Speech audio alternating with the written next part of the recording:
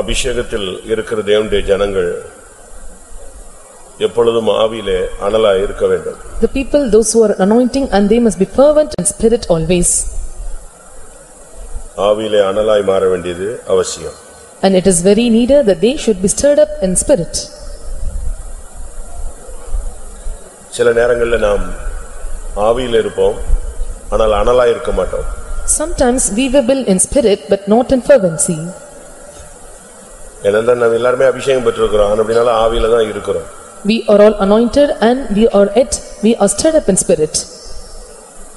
ஆனா பைபிள் சொல்லுகிறது ஆவியில நீங்க அனலாய் மாறுங்கள் And the Bible says, "And be stirred up in spirit." நாம் அபிஷேகத்துல இருந்தா பிசாசுக்கு அனல் உரைக்குது ஆனா நமக்கு அனல் உரைக்க மாட்டேங்குது But when we are filling in anointing and the demons or devils and they are stirred up in that uh, heat uh, fervency, but we are not fervent in that spirit. இன்னைக்கு அனல் மூட்டப்படக்கூடிய ஒரு நேரம். This is a time that we to be stirred up. முதலாவது முப்பத்தி ஒன்பதாம் சங்கீதம் மூணாம் வசனத்தை பார்க்கும் பொழுது Psalms thirty-nine verse three, முப்பத்தி ஒன்பது மூன்று நாம் பார்க்கும் பொழுது when we look unto Psalms thirty-nine verse three, என் இருதயம் எனக்குள்ளே அனல் கொண்டது நான் தியானிக்கையில் அக்கினி மூண்டது அப்பொழுது என் ஆவினால் விண்ணப்பம் செய்தேன். ஆவியில இருதயம் அனல் கொண்டதாக சொல்லுகிறார் it is said there, the heart is burned by fire. ஒரு தேவனுடைய பிள்ளையினுடைய இருதயத்துல முதலாவது அனல் உண்டாகும் The heart of the people of God, first of all, the fire must be burnt. இருதயத்துல அனல் உண்டாகும் பொழுது தானாகவே ஜெப ஆவி வரும் When they are fired in heart and they will get the spirit of prayer automatically. இருதயத்துல அனல் இல்லைன்னு சொன்னா ஜெபம் வராது If there is no fire in their hearts and the prayers cannot come out. இல்ல நீ பேசாம ம்ம்னு ஊமையா தான் இருப்ப And you will be like a dumb, keeping silent. அந்த சரியான ஒரு அனல் மூட்டப்படக்கூடிய ஒரு அனுபவம் வரும் பொழுது என் நாவினால் நான் விண்ணப்பம் செய்தேன் A right, a stirring up of the spirit must be with us, then I'll tell that I speak with my tongue. இங்க இருக்கிற எல்லாருடைய இருதயமும் ஒர்க் பண்ணுது ஃபங்க்ஷன் ஆகுது ஆனா அனல் இருக்கான்னு பார்க்கணும் All hearts are here are working and it is functioning, must check whether it is stirred up in spirit. இருதயம் அனல் கொள்ளும் பொழுதுதான் ஜெபம் உண்டாகும் இல்லனா அப்படி பேசாம அமைதியா இருப்பீங்க When the heart get fervency and they can pray or else they remain silent. இன்னைக்கு நம்முடைய ஜனங்களை ஜெபிங்க முழங்கால் போடுங்க இல்ல உங்க புருஷனையோ உங்க மனைவியோ உங்க பிள்ளைகளையோ உங்களுடைய உடன் இருக்கிறவர்களையோ நீங்கள் கட்டாயப்படுத்துகிறதை பார்க்கலாம் Today we can see and they they that are with us, all the family members and relatives and we compel them to be in spirit. ஆனா அவங்களால அது பிக்கப் பண்ணவே முடியாது But they cannot keep pick up. நீங்க ஜெபிக்கிற மாதிரி அவங்க ஜெபிக்க மாட்டாங்க And how you pray and they cannot pray in that way. உங்களோட இணைந்து வர மாட்டாங்க And they will not mingle with you. அதுக்கு காரணம் உன் இருதயத்துல அனல் இருக்கு அவங்க இருதயத்துல அனல் இல்ல The reason is and they have the fervency in your heart but they don't have that fervency. எப்படி இருதயத்துல அனல் உண்டாகும் And how the stirred up, uh, stirring up of fire is found in our heart. நான் தியானிக்கனில் அக்னி மூண்டது And it is said that my heart was hot with me when I am musing with the Lord. ஆ, அந்த தியானங்கிறது தமிழ்ல சொல்ற மாதிரி அப்படி உட்கார்ந்து இருக்கிறதல்ல சிலுவையை தியானிப்பது As it is said in meditation or dhyanam in Tamil, it is not sitting silent or meditating the cross and it is telling about this musing. கத்தர் செய்த நன்மைகளை தியானிப்பது And we are counting or remembering the goodness of God கத்தர் உன்கிட்ட பேசின வார்த்தைகளை தியானிப்பது and meditating the words the Lord spoke to you. கத்தர் உனக்கு கொடுத்த வாக்குத்தத்தங்களை தியானிப்பது And uh, uh, remembering or meditating the promises the Lord have given to you. கத்தர் உனக்கு கொடுத்த தரிசனங்களை தியானிப்பது And meditating the vision the Lord have given you. கத்தர் உனக்கு கொடுத்த அந்த சொப்பனங்களை தியானிப்பது And remembering or meditating the dreams the Lord have given you. இக்கட்டான நேரங்களிலே நிர்பந்தமான சூழ்நிலைகளில நீ போகும் பொழுது கத்தர் உன்னோடு இடைப்பட்ட விதங்களை நீ தியானிப்பது The way that Lord intervened with you when you were entered into the miserable state and when you are entered into distress paths. இப்படி நீங்க கத்தர் உங்களோடு இடைப்பட்ட கடந்த கால அனுபவங்களை கத்தருடைய சன்னிதானத்துல உட்கார்ந்து தியானிக்கும் பொழுது என்ன உண்டாகும் அக்னி மூன்றும் When you sit in the presence of God and meditate the past experiences that you entered in through or when you have gone through, when you are meditating and the fire is kindled up. இன்னொரு தியானம் இருக்கு There is another meditation அது என்ன தியானம் and what is that?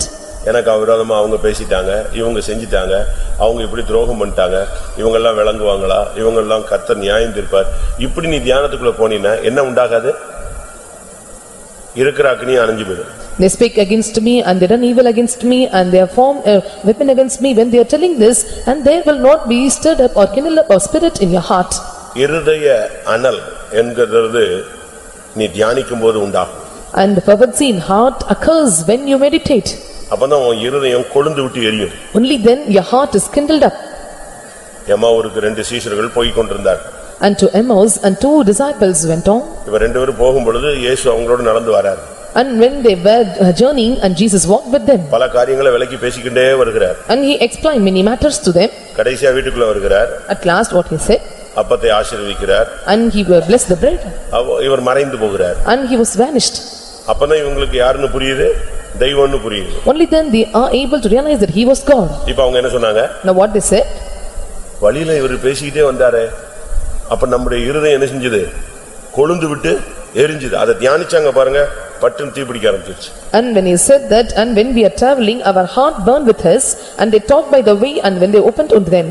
நீங்க வந்து உங்களுடைய பிரச்சனைகளை தான் நீங்க தியானிக்கிறீங்களே தவிர கத்தர் கடந்த காலத்துல உங்களை நடத்தின விதங்களை சிந்திச்சு பாருங்க இது குப்பை மாதிரி இருக்கும் தூசி மாதிரி இருக்கும் You are counting or meditating your problems and your troubles that you pass through, but when you are counting all this, then become a dust before you. ஏன்னா தேவன் உன்னை இந்த பாதையில இதை விட மோசமான பாதையில எல்லாம் உன்னை ஜெயித்த ஜெயிக்க வச்சிருக்கிறார். Because the Lord helped you to overcome more than this and so bad paths. இதுவரை நடந்ததெல்லாம் இதுக்கு முன்னால் நடந்ததுன்னு பைபிள் பிரசங்கில ஒரு வசனம் வாசி In Ecclesiastes, we are reading a verse, and that which happened before or the thing that has passed away. அப்ப நீங்க தியானிக்கிறதுங்கிறது அனல் இருதயத்துல வரணும்னா சிலுவையை தியானி. கத்தர் உனக்கு செய்த நன்மைகளை தியானி. கத்தர் உன்கிட்ட பேசின வார்த்தைகளை தியானி. அதை நீ சிந்திக்க ஆரம்பிச்சிட்டேனாலே உனக்கு இருதயம் அனல் அக்னி வந்துடும் If your heart must burn and you must meditate the cross of Calvary, you meditate upon the word of God, then sit in the presence of God and meditate in him, then your heart gets burned. அது மாத்திரமல்ல Not only that, வெறும் இருதயம் மட்டும் அனல் முண்டால் மட்டும் போதாது not only enough, if your hearts are getting burnt. Heart function ஆகி கோமால இருந்தானே என்ன பிரயோஜனம் If the heart is functioning but still if they are found in coma stage, what is the use of ஒரு it? செயலற்று போன ஒரு ஆளாக இருந்தா என்ன பிரயோஜனம் And if he is deactivated position and what is the use of it? இரண்டாம் ராஜாக்கள்ல நான் பார்க்கும் பொழுது When we look into second Kings, நாலாம் அதிகாரம் chapter four, ஆ, முப்பத்தி நான்காம் வசனம் verse thirty-four. கிட்டே போய் தன் வாய் பிள்ளையின் வாயின் மேலும் தன் தன் கண் அவன் கண்களின் மேலும் தன் உள்ளங்கைகள் அவன் உள்ளங்கைகளின் மேலும் படும்படியாக அவன் மேல் குப்புற படுத்துக் கொண்டான். அப்பொழுது பிள்ளையின் உடல் அனல் கொண்டது. அனல் கொண்டது. And flesh of the இது child வந்து waxed warm. உடல் முழுவதும் சரீர அனலை காண்பிக்கிறது. And this shows the warm in the body. இப்ப நீங்க பாருங்க ஒரு வீட்ல ஒரு குழந்தையோ இல்லாட்ட ஒரு பெரிய ஆளோ செத்து போயிட்டாங்கன்னா ஃபர்ஸ்ட் அதுல ஒரு சிம்டம்ஸ்ல என்னது? பாடி எப்படி இருக்கும்? ஐஸ் மாதிரி மாறிடுச்சு குளிர்ந்துருச்சுமாங்க And if someone dies and they will check the body by touching it, it was so chill, it becomes cool. ஆனா இப்ப பிள்ளை செத்து போயிருச்சு Now the child was dead அது ஐஸ் மாதிரி மாறிடுச்சு and it became so ice மணிக்கணக்கா தாண்டிடுச்சு and it it have crossed hours எத்தனையோ together. Hours தாண்டியாச்சு It have crossed many hours. ஆனா இப்ப நடந்தது என்ன That what happens then? அந்த பிள்ளையினுடைய சரீரம் முழுவதும் அனல் கொண்டது And the flesh of the child waxed warm. அப்ப நீங்க வந்து இன்னைக்கு இருதயம் மட்டும் அனல் கொண்டவர்களாக நீங்கள் போகக்கூடாது முழு சரீரமும் ஒரு அனல் மூலம் You should could not, should not depart this place that your hearts to be burned of with the fervency, the whole body must get warm. அந்த பிள்ளையினுடைய வாய் அந்த பிள்ளையினுடைய கண்ணு அந்த பிள்ளையினுடைய உள்ளங்கைகள் மூன்றும் படியும் அதன் மேல் படும்படியாக அவன் படுத்தான் The mouth and eyes and hands and to lay upon the child and he completely laid upon him. ஒரு தேவனுடைய பிள்ளை மற்றவனுக்கு அனல் மூட்டக்கூடியவனாக இருக்கணும் And child of God must be the one who stir up others. உனக்குள்ள இருக்கிற அபிஷேகம் அவனுக்கு உள்ள வரணும் The anointing in you must penetrate into them. மோசேனுடைய ஆவி எழுபது பேருக்கு கொடுக்கப்பட்டது The spirit of Moses was given to seventy members. எலியாவினுடைய அபிஷேகம் எலிசாவுக்கு கொடுக்கப்பட்டது Anointing of Elijah was given to Elisa. உனக்குள் இருக்கிற ஆவியின் அனுக்கிரகம் எனக்கு வேணும்னு கேட்டான் And he said, "The spirit which is in you must come into me." அப்ப நமக்குள்ள இருந்து ஒரு அனல் எலியா எலிசாவுக்குள்ள இருந்து ஒரு அனல் வருகிறது And the stirring or the kindling up a burning of this uh, uh, Elijah, as Elijah is coming from out. ஆ, இது எதை காண்பிக்கிறது What does it show? சரீரத்தை அனல் மூட்டுவது And this shows stirring of the body. முழு சரீரத்திலையும் ஒரு அக்னி அபிஷேகம் இறங்கணும் for the whole body and the uh, fiery anointing must descend. சரியான அக்னி அபிஷேகம்னா உன் பாடியை தொட்டாலே சூடா இருக்கும் Fi- தீ Right பிடிச்சு தீ பிடிச்சு எரிஞ்ச மாதிரி இருக்கும் Right fierely anointing means if someone touches your body, it is so hot, it was getting with fire. வேர்த்து விறுவிறுத்து ஏசிக்குள்ள இருந்தா கூட இந்த அபிஷேகம் வரும் பொழுது நீ பர்னஸ்ல இருந்த மாதிரி இருக்கும் You will get sweat and you- when you are in in that condition, even you are in AC room and you will feel that you are in furnace. ஒரு சூளைக்குள்ள இருந்த மாதிரி இருக்கும் உனக்கு And you feel that you are stayed in furnace. ஆ, இந்த ice வேலை செய்யாது உனக்குள்ள சரியான அக்னி வந்துடும் This chillness will not work in you, the right fire will comes in you. சரீர அனல் உடல் அனல் கொண்டது And the flesh of the body or the uh, uh, child was உடல் warm. அனல் கொண்டாதான் மரணம் நீங்கும் Only if the body gets warm and the death departs from us. ஆ, இன்னைக்கு சரீரத்துல அநேகருக்கு மரணத்தின் போராட்டங்கள் இருக்கு Today, many are having the struggles of death. நீங்க டாக்டர்ஸ்ட கேட்டீங்கன்னா ஒன்னொன்னா செத்துக்கிட்டு இருக்குன்னு சொல்லுவாங்க If you ask the, consult the doctor, they used to say, and uh, little by little, every members are getting நம்ம ground. நினை- நம்ம நினைக்கிறோம் கையில தான் பல்ஸ் இருக்குன்னு நினைக்கிறோம் We are telling the pulse is vested in hands. ஆனா டாக்டர்ஸ்ட கேட்டா உடம்புல எத்தனையோ இடத்துல பல்ஸ் இருக்குன்னு சொல்லுவாங்க But when we ask the doc- doctors, and they used to say, the pulse are found in many places. அவங்களுக்கு தெரியும் எங்கெங்க கை வச்சா எங்கெங்க அடிக்குன்னு தெரியும் They know where they touch the body and the pulse works. அதுபோல Likewise, முழு சரீரத்திலையும் உனக்கு function ஆகணும் அபிஷேகம் ஃபங்க்ஷன் ஆகணும் the whole body must be functioned by this anointing. அப்ப முழு சரீரத்திலையும் இருக்கிற மரணத்தின் ஆவி வெளியே போகணும்னா உடல் முழுவதும் அனல் கொள்ளணும் The spirit of death on your whole body must depart from you, your whole body must be stirred up in spirit. கையில மரணம் இருக்கக்கூடாது And there should not be death in your hands, கால்கள்ல மரணம் இருக்கக்கூடாது there should not be death in your legs. ஒரு சிலரை பாருங்க கை கால் விளங்காது ஆனா உயிரோட இருப்பாங்க அப்ப கால்கள் செத்து போயிருச்சு இன்னும் ஒரு சிலருக்கு மூளைச்சாவுன்னு சொல்றாங்க அது அவங்க வந்து உயிரோடயே இருப்பாங்க எந்த ஃபங்க்ஷன் இருக்காது Some are paralyzed but the legs and hands will not work and some they have this a problem of death occurs in their brain and they will not die but they don't have any movements. அவங்க உயிரோட இருக்கும்போதே அவங்கள கொன்னு எதை எடுத்துறாங்க அந்த உயிரோடயே அந்த உறுப்புகள் எல்லாம் எடுத்து மத்தவங்களுக்கு கொடுத்துறாங்க When they are alive, they are uh, killing them and alive they are taking all the members out நம்முடைய சரீரத்தில் அனல் and stirring up in our body. ஆ, இருதயத்தில் மட்டுமல்ல Not only in our hearts, முழு சரீரத்திலையும் வரும்பொழுதுதான் சரீரத்தில் இருக்கிற மரணத்தின் வல்லமைகள் எல்லாம் விலகும் when it comes on the whole body, all the spirit of death will depart from us. அந்த கண்ல தான் நீங்க நீங்க பைபிள்ல படிச்சு உலகத்துல படிச்சு பாத்தீங்கன்னா லாஸ்ட்ல டாக்டர் எங்க பாப்பாரு உயிர் இருக்கா இல்லையான்னு பாக்குறதுக்கு எங்க பாப்பாரு ஒரு டார்ச் வச்சுக்கிட்டு கண்ல தான் அடிச்சு பாப்பாரு When you look into the doctors of the world and uh, to check whether they are alive or not and they will take the torch and they will light over their eyes.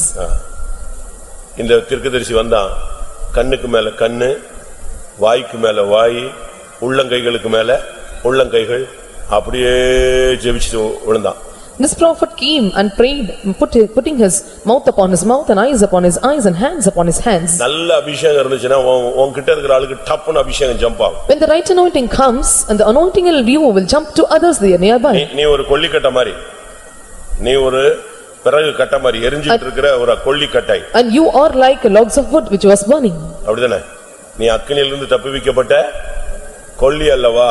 அப்படின்னு ஒரு பிரதான ஆசிரியனை பத்தி சொல்லியிருக்கு. And it is said about the high priest and you are the firebrand comes out of the fire. அப்ப நீ ஃபயர்னா பக்கத்துல இருக்கிற ஆளை என்ன செய்யலாம்? கொஞ்ச நேரத்துல ஃபயர் ஆயிடணும்.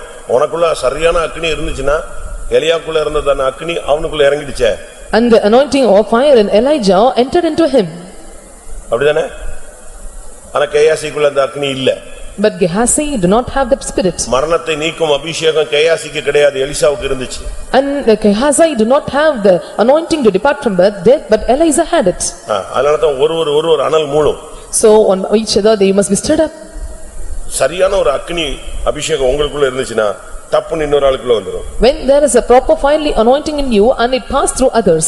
இன்னைக்கு சரீரம் முழுவதும் ஒரு அனல் உண்டாகும் And through the whole body and we must be stirred up. அப்படி ஒரு அபிஷேகம் நமக்குள்ள உண்டாகும் And such anointing must be come in us. அப்படி ஒரு அபிஷேகம் வந்துருச்சுன்னா பிடிச்சு பத்தி பிடிச்சிருங்க If such anointing comes and we will be burned up. ஒன்று இருதய அனல் இரண்டாவது சரீர அனல் One is warm of uh, fervency in your heart and second is warm in your body.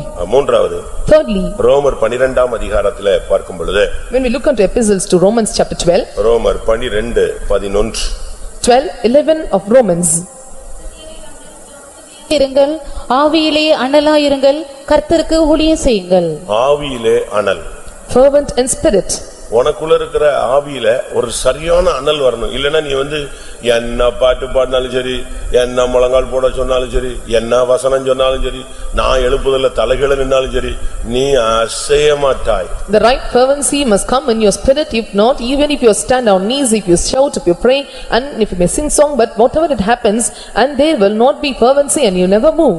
ஆவியிலே அனல் Fervent in spirit. உனக்குள்ள இருக்கிற ஸ்பிரிட்லயே ஒரு அனல் உண்டாயிடும் And there must be the fervency in your spirit itself. உன் இருதயத்துல மட்டும் இல்ல உன் மைண்ட்லயே ஒரு அனல் உண்டாயிடும் Not only in your heart and the mind, in mind also. ஆ, ஆவியில மட்டும் ஆவியில மட்டுமல்ல ஆத்மாவில் மட்டுமல்ல சரீரத்திலும் அனல் உண்டாகிறது தான் நம்ம படிச்சுட்டு இருக்கோம் Now we are studying about the subject of fervency not only in spirit and soul, also in body.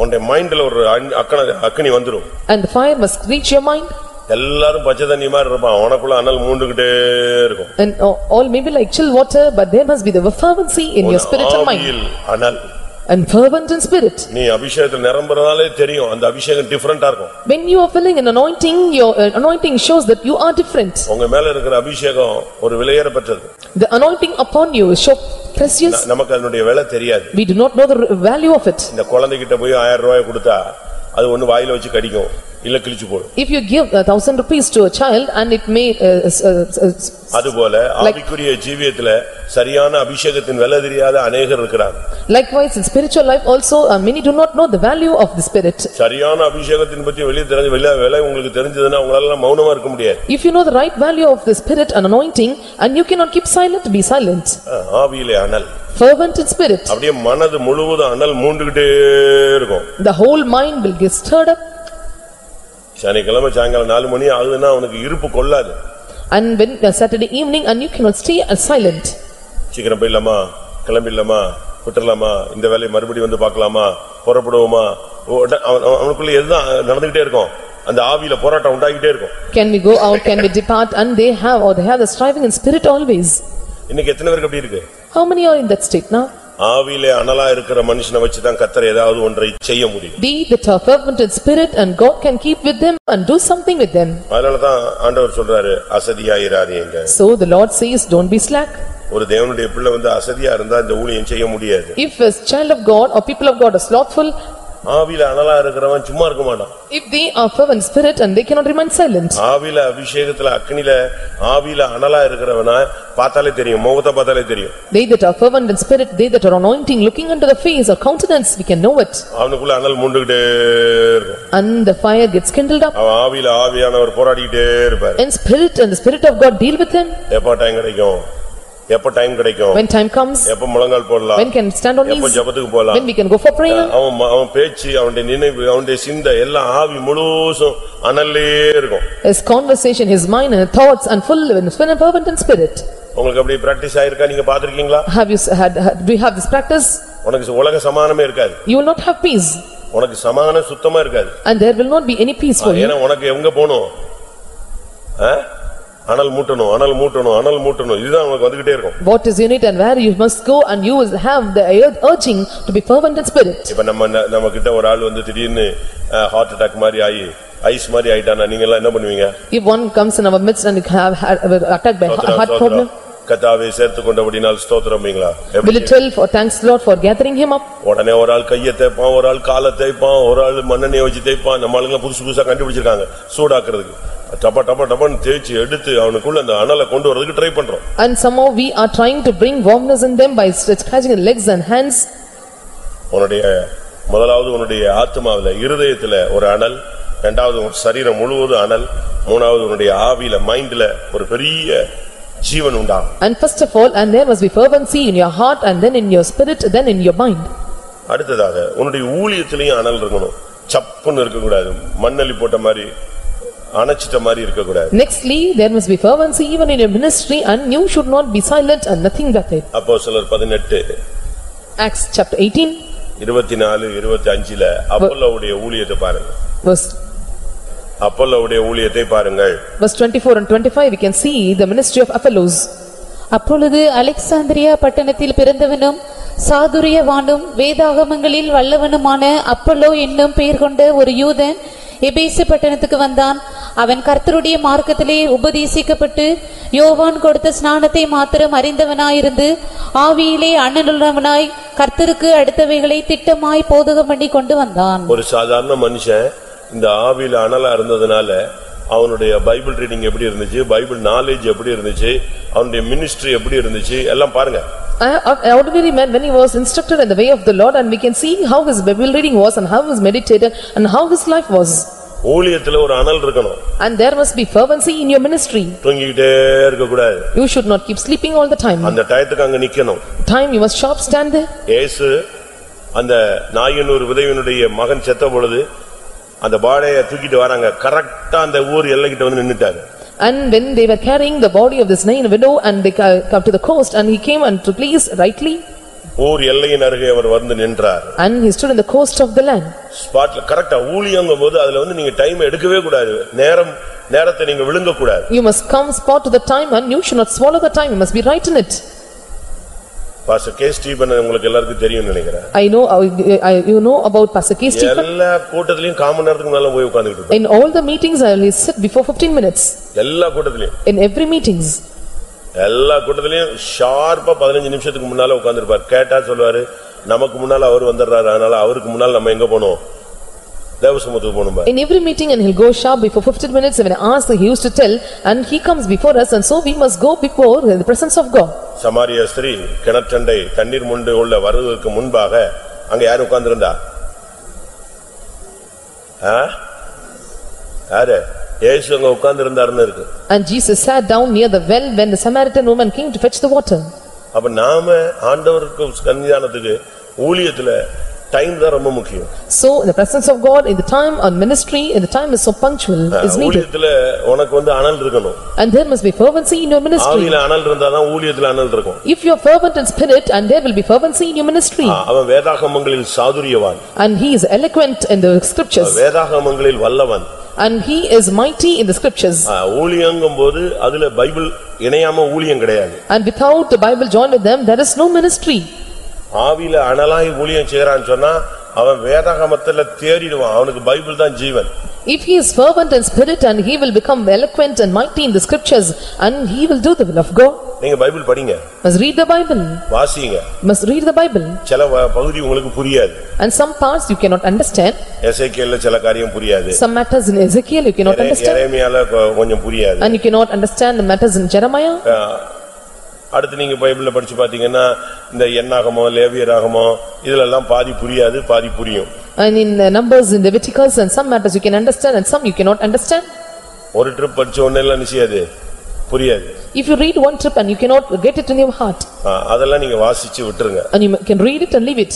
ஆனா மற்றபடி ஒவ்வொருத்தருடைய அந்த வாழ்க்கை வரும்போது அதை ஃபுல்லா படிச்சிருங்க But if the uh, life history of some persons comes, you must study thoroughly. தாவீது அப்படின்னா தாவீது என்ன செஞ்சிரு ஃபுல்லா படிச்சிரு If he is David and study the path so thoroughly. சவுல்னா சவுல ஃபுல்லா படிச்சிரு If he is Saul and read completely. மோசேன்னா மோசே முழுசும் படிச்சிரு If it is Moses, and Mo- read the Moses completely. நோவான்னா Noah முழுசும் படிச்சிரு If it's Noah, read the Noah completely. அ- அப்படி ஒவ்வொரு subject YONO அப்படின்லாம் நீங்க அதை படிச்சிட்டீங்கன்னா உங்களுக்கு அதுக்குள்ள இருந்து ஆவியானவர் பேசும்போது டக்குன்னு உங்களுக்கு கேட்ச் பண்ண முடியும் இல்லனா ஒண்ணும் தெரியாம குருடு மாதிரி உட்கார்ந்திருப்பீங்க If he is Jonah and you have to read the chapter so thoroughly, and if so, the spirit of God deal with you and speak with you, you can catch it, you can understand, or else you cannot understand anything. அவனுடைய ஊழியம் எப்படி இருந்துச்சு தெரியுமா திட்டமாய் போதித்துக் கொண்டிருந்தான் You know how his ministry and he was instructing them in the so planned way. அவன் பாட்டுக்கு பிரசங்கம் போய்கிட்டே இருப்பாங்க ஊழியத்துக்கு And he preaches and he was going in the ministry on his way. ஒரு நாளைக்கு பத்து சர்வீஸ் நடத்துற இடங்கள்லாம் இருக்கு And there are some places they conduct ten services in a day. ஒரே நாள்ல பத்து சர்வீஸ் நடத்துறவங்களா இருக்கும் In one day, they conduct ten services. நம்மள அப்படியா இருக்கோம் Are we like this? நமக்கு ஒரு கூட்டம் போயிட்டு வந்தாலே செத்து போன மாதிரி இருக்குங்கிறான் If we attend one meeting, we feel that we are in that state. அ, அவன் இங்கிலீஷ் சர்வீஸுங்கிறான் தமிழ் சர்வீஸுங்கிறான் ஈவினிங் சர்வீஸுங்கிறான் மார்னிங் சர்வீஸுங்கிறான் போய்கிட்டே இருக்கான் And they say English service and Tamil service, morning service and other services. நம்ம எல்லாம் அப்படி பண்றோம் Are we doing like this? நமக்கு ஒரு Sunday school முடிச்சிட்டு வந்துட்டா எப்பண்டா நம்மள இதுல இருந்து கலத்தி விடுவாங்க நம்மள டிஸ்மிஸ் அது பண்ண மாட்டாங்களான்னு யோசிக்கிறான் If they are ending up and they are coming out of the Sunday school and they're telling, uh, can't they free us or even they dismiss me? ஏன்னா அவங்க சுகபோகமா இருக்கிற மத்த விசுவாசிகளை தான் பாக்குறானே தவிர கத்தருக்காக பாடுபட்ட பரிசுத்தவாங்களை இவங்க என்ன செய்யறது இல்ல பாக்குறது இல்ல அதனால தான் அனல் வர மாட்டேங்குது Because they look unto the believers, those that live in pleasures, they are not looking unto the dedicated servants of God and their sacrifice. அப்படிதானே ஒரு பையன் ரொம்ப சந்தோஷமா இருந்தான். கேட்டா முப்பத்தஞ்சு மார்க் எடுத்து பாஸ் பண்ணிட்டேன். ஒரு பிள்ளை அழுதுகிட்டு இருந்துச்சு. கேட்டா தொண்ணூத்தொன்பது மார்க் ஒரு மார்க் போயிடுச்சுன்னு. எது கரெக்ட் சொல்லு. புரியலையா? உனக்கு புரியலையா? முப்பத்தஞ்சு மார்க் எடுத்துட்டு ஒரு பையன் ரொம்ப சந்தோஷமா இருந்தான். தொண்ணூத்தொன்பது மார்க் எடுத்துட்டு ஒரு பிள்ளை அழுதுகிட்டு இருந்துச்சு. One boy was happy by uh, obtaining thirty-five marks and another girl taking ninety-nine marks and she was in sadness. Why? எடுத்தவன் சந்தோஷமா இருந்தானா? And one who got thirty-five marks, he was happy. ஏன்னா pass ஆயிட்டேன் The reason is he got passed. ஆனா தொண்ணூத்தொன்பது எடுத்த பிள்ளை அழுதுகிட்டு இருந்துச்சு எது போயிடுச்சு ஒரு மார்க் மிஸ் ஆகி போச்சு And she that obtained ninety-nine marks and she wept the reason and she missed in one mark. நீங்க எந்த team Which team you are? நாங்க வந்து ஆவரேஜ் ஐம்பதுல தான் நிக்கிறோம் I am an average, I'll be under fifty. அப்படியா ஆவியிலே அனலா இருந்தால் ஊழியத்துல அனல் இருக்கும் Be fervent in spirit, if you are fervent in spirit and you will have the fervency in ஊழியத்துல ministry. அனல் இருக்கிறவனுடைய முதல் அடையாளம் வேதத்தை நீ தியானிப்பாய் The sign or symbol for they that are fervent in spirit, first they meditate the laws of God. கிடைச்ச உடனே உன் time எல்லாம் அங்கதான் போகும் Whenever you get time and you will spend the time in reading the Bible. அஹ், உடனே இதை வாசிச்சிடணும் And we must read this chapter அஹ், இதை முடிச்சிடணும் and we must end up this. எனக்கு தெரியும் ஒரு வாரத்துல பைபிள் படிச்சவன்லாம் இருக்கான் And there are some scholars are there even within a single week and they have complete reading the Bible. அப்ப எ- என்ன பண்ணிட்டு இருப்பான்னு யோசிச்சிருக்கீங்க And you think what they have done on this. இப்ப நம்ம ஆளுங்களுக்கு ஒரு போட்டி வைங்க ஒரே வாரத்துல படிக்கிறானா இல்லையான்னு பாருங்க Even if you conduct competitions for our people, even within a week, they are able to read the Bible. ஆனா என்ன படிச்சானே அவனுக்கும் தெரியாது பைபிள்ல இருக்கிற வசனத்துக்கும் தெரியாது But they don't know and what is, what they read in the Bible and even the verses do not what they have done. அது express மாதிரி தட தட தட தட தட தட தடன்னு போவான் And they, அவனுக்கு என்ன வாசிச்சா எந்த அதிகாரம் முடிஞ்சதுன்னு தெரியாது பக்கம் தான் தெரியும் they read on and அது they waste. and they travel like express and they don't know what happens and that is waste. கர்த்தருடைய வசனம் ஆவியில அனலா இருந்தா அவன் ஊழியத்துல பயங்கர அனல் மூடும் அற்புதங்கள்லாம் நடக்கும் Word of God, when you are fervent in spirit and they perform miracles and you were able to see the God's power. ஐந்தாவது Fifthly, வரங்களில் அனல் and fervency in gifts. ரெண்டு தீமோத்தேயு ஒண்ணாம் அதிகாரம் ஆறாம் வசனம் Second Timothy chapter one verse six. ரெண்டு தீமோத்தேயு ஒன்னு ஆறுல என்ன சொல்லி இருக்கிறது What it is said in second Timothy chapter one verse six. இது நிமித்தமாக நான் உன்மேல் என் கைகளை வைத்ததினால் உனக்கு உண்டான தெய்வ வரத்தை நீ அனல் மூட்டி எழுப்பி விடும்படி உனக்கு நினைப்பூட்டுகிறேன் வரத்தை அனல் மூட்டு Stir up the gift.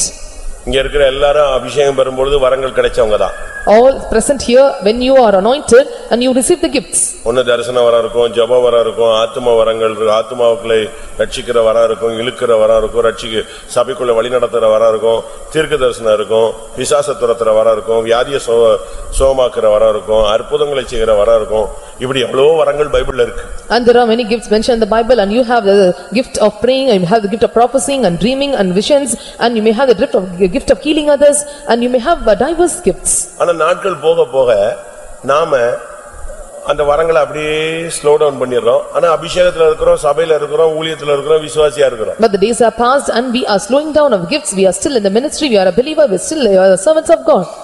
ஆனா நீங்க பைபிள்ல படிச்சு பாருங்க எசேக்கியா எசேக்கியேல் அவன் வந்து அவன் பாட்டுக்கு சாகர வரைக்கும் தரிசனம் சொல்லிட்டே இருப்பான் You can read in the Bible Hezekiel even till his death and he continued his prophecy. எரேமியாவை கேட்டா கடந்த இருபத்தி மூன்று வருடங்களாக இந்தந்த ராஜாவின் காலங்களிலே நான் தீர்க்க தரிசனம் சொல்லி வந்தேன் When you look into Jeremiah, you can see for the past twenty-three years and the times of this king's period, I uttered prophecy. அவனே எல்லாரும் பரியாசம் பண்ணாங்க And they all mocked at him. உடனே சொல்லிட்டான் இனிமே தீர்க்க தரிசனம் சொல்ல மாட்டேன். And he said, "So I will not prophesy anymore." அவனும் மனுஷன் தானே நம்மள மாதிரி ஆள் தான். அவனும் ஏதோ ஒரு பெந்தை சபையில விசுவாசியா இருந்திருப்பான். And he is also like us, a Pentecostal believer, he is a man. அப்படியா? அவனுக்கும் டார்ச்சர் கொடுத்தாங்க. என்ன பெரிய தீர்க்கதரிசனம் அஜா பூச்சான் அதோட அவன் மூடிட்டான். வாயை மூடிடுவேன். And the people tortured him and why can you utter prophecy? And thereby he shut his mouth. எரேமியா இருபத்தஞ்சு மூணுல சொல்றான் கடந்த இருபத்தி மூன்று வருடங்களாக நான் கர்த்தருடைய வார்த்தையை பேசி வந்தேன்.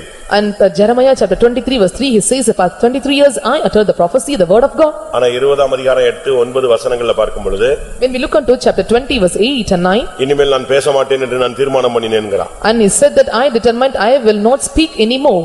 எப்ப பேச மாட்டேன்னு சொன்னனோ அப்ப இருந்து கர்த்தருடைய வார்த்தை எனக்குள்ள அக்னி மாதிரி வந்து என்னை ஒரு வழி பண்ணிடுச்சுன்னு சொல்றான் And he says, and by his word, when I say it like this, and the burning of fire came in me and done me like anything. சரியான வரங்கள் உங்களுக்குள்ள வேலை செய்யணும் The right gifts must be operated in you. Gift தான் சபையினுடைய ஜனங்களுக்கு பிக்கப்புக்காக தேவன் கொடுத்தது And gift is the thing the Lord have bestowed to the church to be picked up in the church. ஆ, உனக்கு தேவன் ஒரு gift கொடுக்கறாருன்னா அந்த கிஃப்ட வச்சு நீ உன்னைய விடுதலை ஆக்கலாம் மற்றவங்களை விடுதலை ஆக்கலாம் If the Lord gives you a gift and through that gift you can deliver yourself and also deliver the others. எந்த ஒரு தீர்க்க தரிசனமும் முதல்ல தீர்க்க தரிசனம் சொல்லுகிறவர்களுக்கு Any prophecies uttered and the prophecy when they are uttering it is first to them. அதுக்கு பிறகுதான் சபைக்கு Only then after to the church. அப்ப உனக்கும் விடுதலை உண்டாகுது மற்றவனுக்கு விடுதலை உண்டாகுது And the deliverance for you then also for the others. புரியுதா Can you understand? அந்நிய பாஷை பேசுகிறவன் தனக்கு பக்தி விருத்தி உண்டாக பேசுகிறான் தீர்க்க தரிசனம் பேசுகிறவன் சபைக்கு பக்தி விருத்தி உண்டாக பேசுகிறான் They that speak in unknown tongues and they are speaking for the edification, they that uttering prophecy and they are telling for the edification of the church. தீமோத்தேயு ஒரு gifted person And Timothy is a gifted person. ஆனா நடந்தது என்ன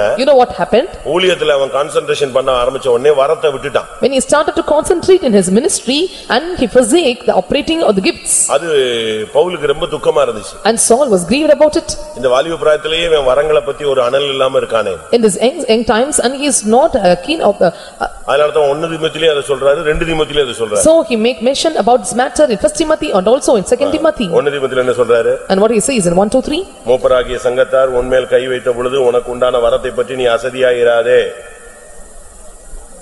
ம்.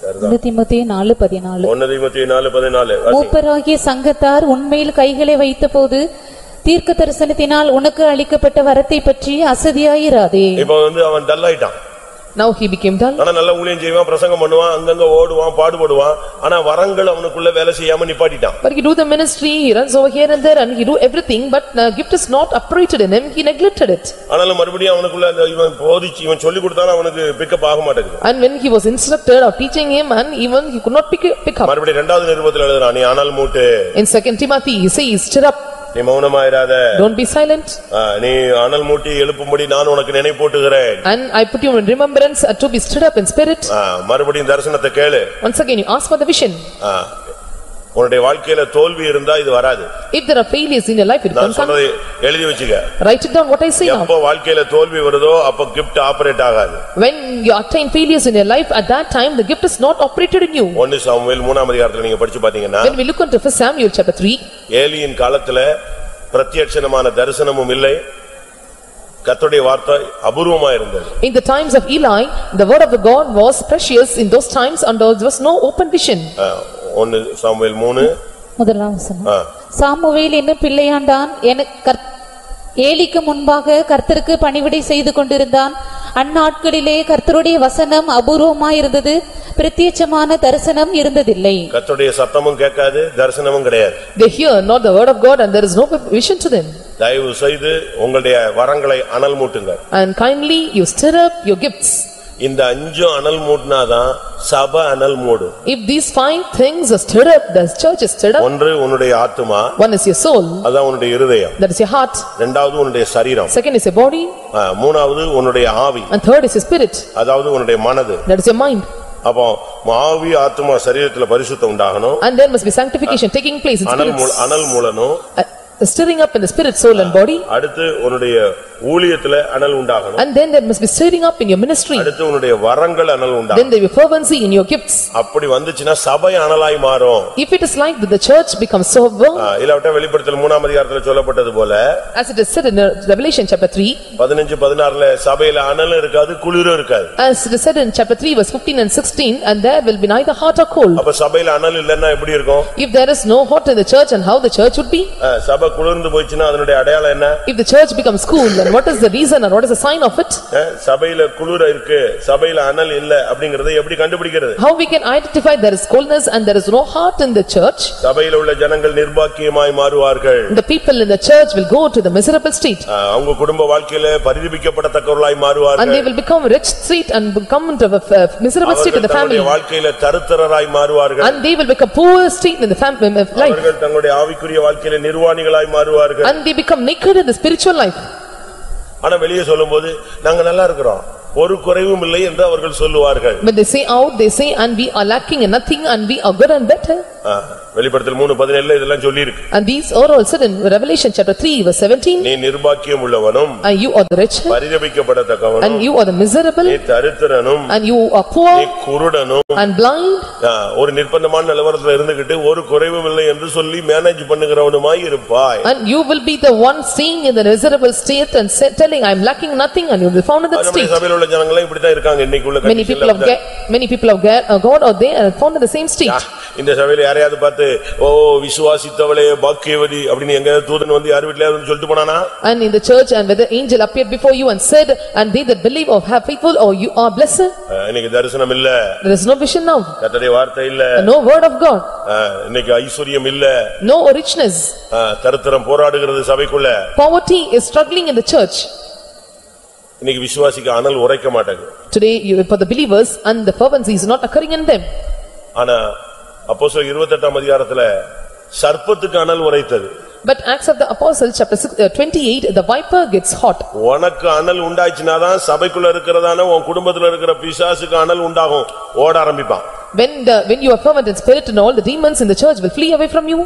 வெளி அப்போ சொல்ல இருபத்தெட்டு மூணுல நீங்க பாத்தீங்கன்னா ஒரு விரியன் அனல் உரைத்து புறப்பட்டது And we can see in Acts chapter twenty-eight verse three, the viper came out of the heat and fastened. உனக்குள்ள உன் மனைவிக்குள்ள உன் புருஷனுக்குள்ள உன் பிள்ளைக்குள்ள உன் ஊழியத்துல உன் ஆவி ஆத்மா சரீரத்துல உன் வரங்கள்ல உன்னுடைய ச- உ- சபையில அனல் உண்டானதான் உள்ள கிடக்கிற சர்ப்பம்லாம் வெளியே வரும் In your family, in your spirit, in your spirit, soul and body, and in the church, and in your family members, and husband, wife and children, only if there is fervent in spirit, all the viper and snake serpents will come out of you. உன் பிசினஸ்ல இருக்கிற சர்ப்பம் வெளியே வரணும்னா நீ அனல் உண்டானாதான் அது அனல் உரைக்கும் ஸ்டடி ஆயிட்டான் ஜெபிக்க ஆரம்பிச்சிட்டான் உபவாசம் போட ஆரம்பிச்சிட்டான் மறுபடியும் முழங்கால் போட்டுட்டான் நைட்லாம் தூங்க மாட்டேங்கிறான் பரிசுத்தம் பண்ணி பண்ண ஆரம்பிச்சிட்டான் பிரதிஷ்டையில புதுப்பிக்க பண்ண ஆரம்பிச்சிட்டான்னா ஆட்டோமேட்டிக்கா உன் வீட்டுல தொழில வீட்டுல பிள்ளைகளுக்குள்ள எங்கெல்லாம் இந்த சர்ப்பம் ஒளிஞ்சு கிடக்கோ எல்லாம் வெளியே எஸ்கேப் ஆகும் And where the serpent is hidden, or where the viper is found in your house, and in your business, and when you start praying, when you are consecrating, when you are renewing your consecration, when you are meditating with the presence of God, and these vipers will come out and you will be set free. ஆனா நீ என்ன பண்ற? But what you are doing, உன்னை அனல் முட்டாமலே இருந்துகிட்டு பாம்பு கிடக்குது பல்லி கிடக்குது. எனக்கு ஜமாதானம் இல்ல என் புள்ள சரியில்லை எனக்கு புருஷன் சரியில்லை என் தொழில் சரியில்லை. ஐயோ ஆண்டவர் எனக்கு ஊழியக்காரங்க ஜெபிக்கல. எப்படி? நீ இப்ப அனலை மூட்டு சேலஞ்ச் பண்ணி பார்க்கலாம் staying slothful, you are telling that, and the fervency is not found in me, and the snakes and lizards are attacking me, and if you become fervent in spirit, you can see that you are set in deliverance. நீ ஊழியக்காரன் சொல்லிட்டு சும்மா உட்கார்ந்திருந்தீங்கன்னா அனல் வராதே Seeing that you are a servant of God, if you remain silent, the fervency will not come in you. அந்த தீவுல இருக்கிற எல்லாரும் அனல் மூட்டினாங்க And uh, all that were in the island, and they were all stood up in spirit, Pavul என்ன பண்ணா and what Paul did, நான் pastor நான் ப- என்ன அப்போஸ்டல் அப்படின்னு சொல்லிட்டு கம்முன்னு இருக்கல அவனும் எடுத்துக்கு போட்டான் கொஞ்சம் விறகு அள்ளி போட்டான் அப்பதான் தீ பிடிச்சது இன்னும் தீ சூடு பிடிச்சது அப்பதான் பாம்பு வெளியே வந்தது and saying that I was a pastor and I was an apostle, and he did not keep silent, and he also put the two or four lots of wood in the fire, and the viper came out. ஆனா நம்ம எப்படி இருக்கிறோம் How we are, பைபிள்ல ஒரு வசனம் இருக்கு there is a word in the Bible, மாவு புளிச்சு உப்பி போய் கெட்டு போய் கெட்டு போகிற வரைக்கும் இவன் அனலை என்ன செய்ய மாட்டான் மூட்டவே மாட்டேங்கிறான். சில வீட்டுல பாருங்க காலையில ஏழு மணி வரைக்கும் அடுப்பு பத்த வைக்க மாட்டாங்க.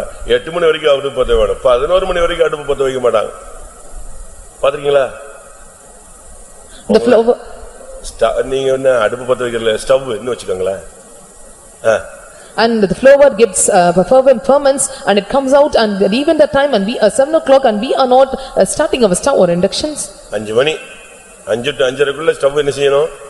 வீட்டுல தீ பத்த வச்சிடணும் அப்படிதானே Before five to five thirty, and you must start the uh, stoves in சில your kitchen. வீடுகள்ல பாருங்க எட்டு மணிக்கு தான் லைட்டை கொளுத்துவாங்க வீடு கிராமங்கள் எல்லாம் ஊர்கள் எல்லாம் பாத்தீங்கன்னா கரெக்டா ஆறு மணிக்கு அடிச்ச உடனே எல்லாரும் கும்பிடுவான் அந்த வெளிச்சம் வந்த உடனே கை எடுத்துருவான் And sometime, some of our houses, by eight o'clock at evening, and we are lighting, uh, we're putting on the lights. But in the villages, we can see they start by six o'clock. பைபிள்ல ஓசியால இருக்கு அந்த மாவு பிசைந்த மாவு உப்பி போகும் மட்டும் இவன் அனலை மூட்டாமல் ஓய்ந்திருக்கிறான் And in book of Hosea, we can see until the flour gets fervent, ferment, and he kept silent. ஓசியா ஏழாம் அதிகாரம் நாலாம் வசனம் Hosea chapter 7 verse 4.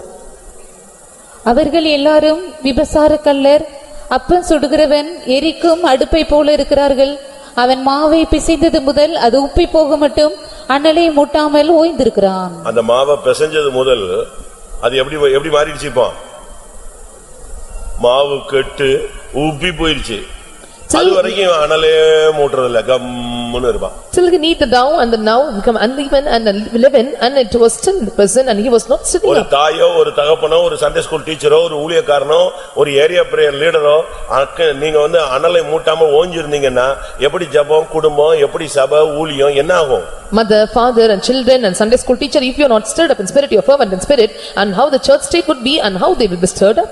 சில வீடுகளில் சண்டை வந்துரும் சோறே பொங்க மாட்டேன் In some houses and they will fight among themselves and I will not cook rice. அச்சோ, கிராமத்துல சொல்லுவாங்க. இந்த பூனை போய் எங்க போய் படுத்துக்கும் பூனை போய் அடுப்புக்குள்ள படுத்துக்கும். In the, அப்பமே சொல்லுவாங்க இது விளங்காது.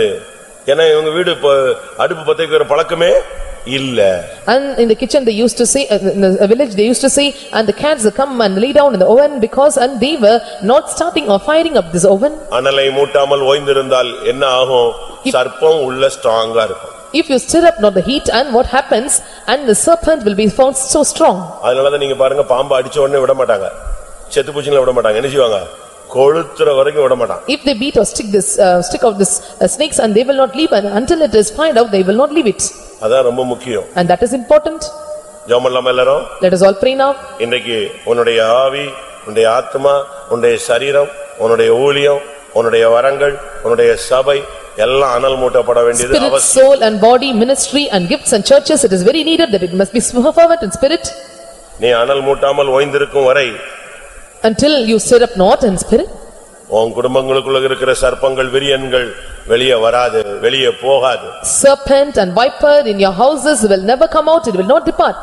உன் கையில தான் இருக்கு It is in your hands. உன் வீட்டுல இருக்கிற சர்ப்பம் வெளியே போகணும்னா நீ வந்து பாம்பை தூக்கி கம்ப எடுத்துலாம் நீ வந்து அது உள்ள போய் எங்கேயோ ஒளிஞ்சு கிடக்கு நீ அனலை மூட்டு அது வெளியே போகும் The serpents are hidden in your house and you cannot do anything with it and you just stir up and it will come out. நான் சொல்றது சரிதானா What I say is right or wrong? Bible வசனத்தை நான் உங்களுக்கு முன்னால வச்சிருக்கிறேன் And I kept before you the word of God. எல்லாரும் கண்களை மூடி கொஞ்ச நேரம் முழங்கால் போடுவோம் For a while, let us close our eyes and bend our knees. இப்போ உன் குடும்பத்திலையும் உன் பிசினஸ்லயும் உன் பிள்ளைகளுக்குள்ளயும் உன் மனைவிக்குள்ளயும் உன்னுடைய தொழிலுக்குள்ளயும் உன்னுடைய கையின் பிரயாசங்களுக்குள்ளயும் உன்னுடைய ஊழியத்திலையும் சர்ப்பம் எதுக்கு கடந்துக்கிட்டு எப்படி மறைஞ்சு கிடக்குன்னு கண்டுபிடிச்சிட்டியா In your family, in your business, among your children, in your husband and the family members, in your business and all those parts, have you found? And there the serpent is hidden. அதுக்கு பரிகாரம் தான் என்ன And what is the solution for it? அனல் மூட்டுகிறதுல தான் நடக்கும் And just when you're stirred up and that is the s- solution for it. ஆ, நீ வந்து அழகா வினோதமெல்லாம் ஊடு ஊதுனா வராது And just when a different way and if you're just opening it, there is no use of it. பாம்பாட்டியை கொண்டு வந்து வினோதமா ஊதுனால வெளியே வராது அது செவிட்டு விரியன் உள்ளதான் இருக்கும் And if you're bringing the snake man and if you're uh, just making it a noise and it will not be hidden and it is found inside. ஆ, அதுக்கு ஒரே வழிதான் The only one way for it. ஆ, அதுக்கு பாம்பாட்டியை வச்சு நீ எத்தனை பிரசங்கம் பண்ணாலும் சரி என்ன பாட்டு போட்டாலும் சரி என்ன தோத்திரம் பண்ணாலும் சரி ஒண்ணும் நடக்காது அனல மூட்டு அது கிளம்பும் If you sing song and if you are reading the word of God, if you're praising God, whatever you do, it will not depart, only if you're stirred up and it will go away.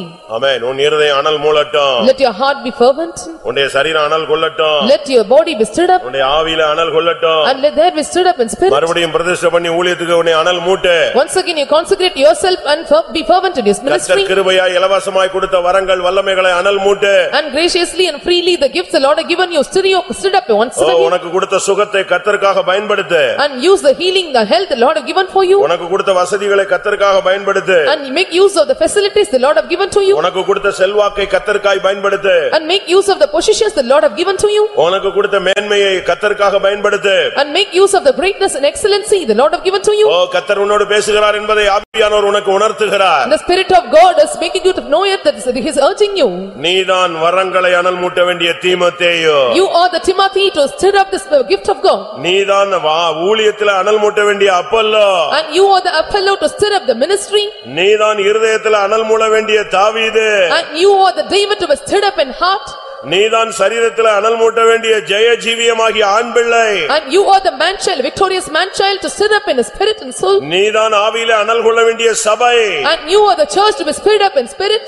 ஓ நீ அனல் மூள அனல் மூட்ட அனல் மூட்ட எல்லா விரியனும் வெளியே வரும் When you sit up and you get hardness and fear fervent in spirit and all the viper will come out. இந்த கூட்டத்துல ரெண்டு காரியம் நடக்க வேண்டும் In this meeting, two things must be ஒன்று performed. நீங்கள் அனல் மூட்டப்பட வேண்டும் One is you must be fervent in spirit இரண்டாவது உங்களுக்கு விரோதமான விரியன் அழிக்கப்பட வேண்டும் and all the serpents and Hallelujah. must be destroyed. இப்பொழுதே எல்லாரும் கத்தருக்காய் அனல் மூட்டுங்கள் And right now, let us all be stirred up for the sake of God. இந்த வசனத்துல ஆவியானவர் உனக்கு எதை சுட்டி காட்டி இருக்கிறாரோ அதை பலிபடத்துல வைத்து போராடு And what the spirit of God is represented you, depicted you in this meeting, keep it on the altar and strike hard. நீ ஒரு தீமோத்தேயுவாய் மாறுவாயாக And let you be changed like a Timothy ஓ நீ ஒரு தாவீதாய் மாறுவாயாக and changed like a David நீ ஒரு ஆண் பிள்ளையாய் மாறுவாயாக and changed as a man child நீ ஒரு அப்பல்லோவாய் மாறுவாயாக and changed as a pillow.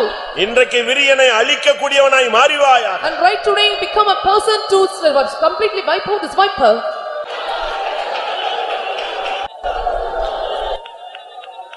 Amen. Hallelujah. Amen. நீங்கள் அனல் மூட்டப்படுகிறீர்கள் இல்லை என்பதை நீங்களே கண்டுபிடிக்க முடியும் And you can identify whether you are stirred up or not. உங்க வீட்ல தீ பிடிச்சதா இல்லையான்னு அடுப்புல தீ வைக்கிறோம் தீ பிடிச்சதா இல்லையான்னு நமக்கு தெரியாதா And when we are keeping the fire on the oven, we know whether it was fire or ஆனா not. ஆவியில அனல் முண்டதை எப்படி கண்டுபிடிக்கிறது How we can identify that we are stirred up in spirit? அதுக்கு ஒரே அடையாளம் சர்ப்பம் வெளியே போயிடும் The only sign that the serpent will come out. உன் குடும்பத்துல உன் வீட்ல இருக்கிற ஆவியெல்லாம் வெளியே போகணும் And all the spirit in the houses must depart out. நீ அனல் மூட்டு அதுக்கு அனல் உரைக்கட்டும் And stir you up yourself and it will be stirred up. ஹalleluya ஹalleluya ஹalleluya ஹalleluya ஹalleluya ஹalleluya எல்லா அந்தகார வல்லமையிலும் விலகட்டும் சர்ப்பத்தின் வல்லமைகள் தோற்று போகட்டும் கத்தா எல்லா விரியனும் வெளியே கிளம்பட்டும் ஆனால் உரைக்கணுமே ஆமென் நீங்கள் அசதியாக இருந்தால் நீங்கள் ரோமாபுரி சபையைப் போல அமைதியாக இருப்பீர்கள் And if you are slack and you will be the church of Romans and you will be silent. எத்தனை பிரசங்கம் கேட்டும் உங்களுக்குள்ள அனல் வராவிட்டால் நீ தீமோத்தேயு போல நீ கவலையினமா இருக்கிறாய் Hearing many sermons and preachings and if you still yet in slothful and slack and you will be like a Timothy. நீ கேயாசியா இராதே Don't be like a Gehazi. அப்படியானால் சரீரம் அனல் மூளாது ஜெயஜீவியம் உண்டாகாது If so, your flesh of the body will not become warm and you will not have the overcoming life. எலிசாவை போல மாறு And be changed like Eliza. தாவீதை போல மாறு Change me as like David. அப்பல்லோவை போல மாறு And change as Apollo. இப்பொழுது we- விரியன் கிளம்பும் நேரம் And right now, this is the time to wipe and come out. உன் குடும்பத்துல இருக்கிற அந்நிய வல்லமைகளை வெளியே போகட்டும் And let all the strange powers in your family depart out. ஆமென் சத்துருவாலே சகிக்க ஒன்னாத எத்தனையோ துன்பம் வந்திடினும் சத்துருவாலே சகிக்கவனாது இத்தனையோ துன்பு வந்திடினோ அத்தனை உமது அருள்பலத்தாலே அத்தனை உமது அருள்பலத்தாலே நித்தமும் ஜெயம் கொள்வோம். நாங்கள் நித்தமும் ஜெயம் கொள்வோம். சத்துருவாலே சகிக்கவனாது எத்தனையோ துன்பு வந்திடினோ சத்துருவாலே சகிக்கவனாது எத்தனையோ துன்பு வந்திடினோ அத்தனை உமது அருவிடத்தாலே அத்தனை உமது அருவிடத்தாலே நித்தமும் ஜெயம் கொள்வோம். நாங்கள் நித்தமும் ஜெயம் கொள்வோம். சத்துருவானே சகிக்கவனாது எத்தனையோ தெம்பு வந்திடினும் சத்துரு மாலி சகிக்க சகிக்கவனாது எத்தனையோ துன்பு வந்திடினும்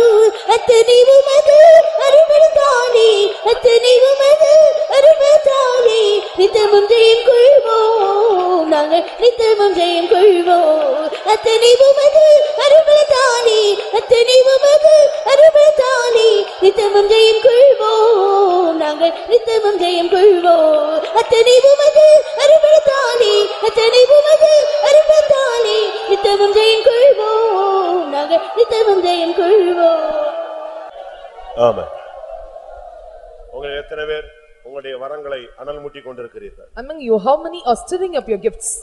எத்தனை பேருடைய சரீரத்துல நீங்கள் ஒரு அனலை உணர்கிறீர்கள் And how many are able to experience a warm in your heart- body? எத்தனை பேருடைய இருதயம் அனல் கொண்டதை உணர்கிறீர்கள் How many are able to realize that hearts are get stirred up? ஆமென்.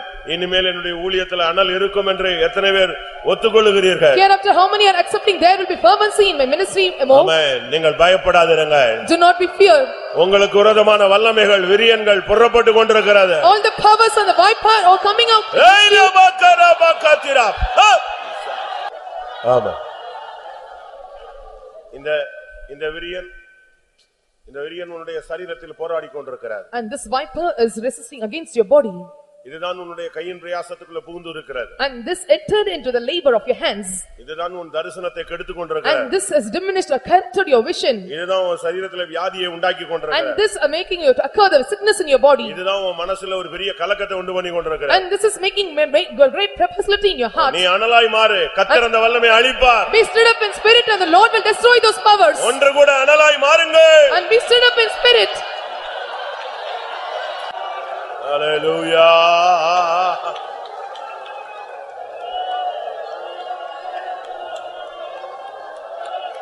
ஆமா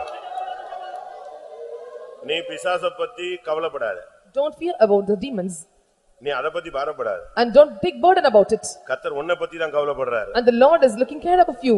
உன் ஊழியத்துல அனல் இல்லையே. There is no fervency in your உன் ministry. வரங்கள்ல அனல் இல்லையே. And no fervency in the gifts. உன்னுடைய ஆத்மாவுல அனல் இல்லையே. And no fervency in your soul. இதுதான் தேவனுடைய கவலை. And this is the burden of God. ஆனா நீ என்ன நினைக்கிற? விரியன் பூந்துருச்சே. என்ன பண்ண போதோ? என்ன நடக்குதோ? என்ன நம்முடைய வாழ்க்கையே போயிடுச்சே. ஊழியமே போயிடுச்சே. நம்முடைய பேரே போயிடுச்சே இப்படி நீ யோசிக்கிற What you are thinking, my, my my name is lost, my ministry have gone away, the viper inside and corrupted me. விரியனை பத்தி நீ கவலைப்படாத And never look about this viper. ஏற்கனவே அவன் தலையை நசுக்கி இருக்கிறாரு Already he crushed his head. இன்னைக்கு அவனை சுட்டரிப்பாரு Today he will burn him up. ஆமா சவுல்ட்ட ஒரு கொஸ்டின் ஒரு வார்த்தை சொல்லப்பட்டது And about the Saul, one word is mentioned. கழுதை அகப்பட்டது ஆனா தகப்பன் தன் குமாரனுக்காக துக்கப்படுகிறார் The as is counted, but still the son is grieving for his child. அப்படின்னு என்ன அர்த்தம் And what does it mean? வெறியன் அழிக்கப்படும் ஆனா நீ அனல் மூட்டப்படணும்னு தான் தேவன் கஷ்ட வாஞ்சிக்கிறார் The desire of God is viper will be destroyed, but you will be stirred up. நீ வெறியனை பத்தி பயப்படாத And do not fear about viper, அவன் ஒண்ணும் பண்ண முடியாது and he cannot do anything. அவனுடைய வேலை முடிஞ்சிருச்சு His work is finished, அவனுடைய ஆட்டங்கள் முடிய போகிறது and his going is going to be up, அவனுடைய கிரியைகள் முடிய போகிறது his workings to be ended up, நீ உன்னை அனல் மூட்டு stirring up with yourself. அது போதும் And that is sufficient. நேசரேவும் நேசம் இணைக்கையில் நெஞ்சமுருகிடுதே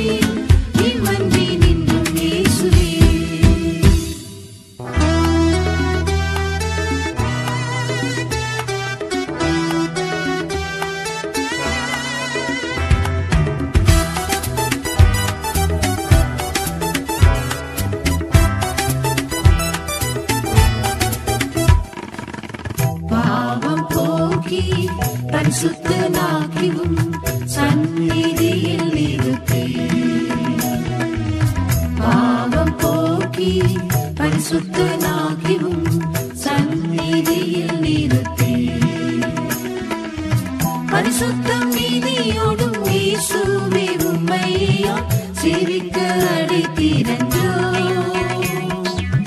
ஜீவிய காலமெல்லாம்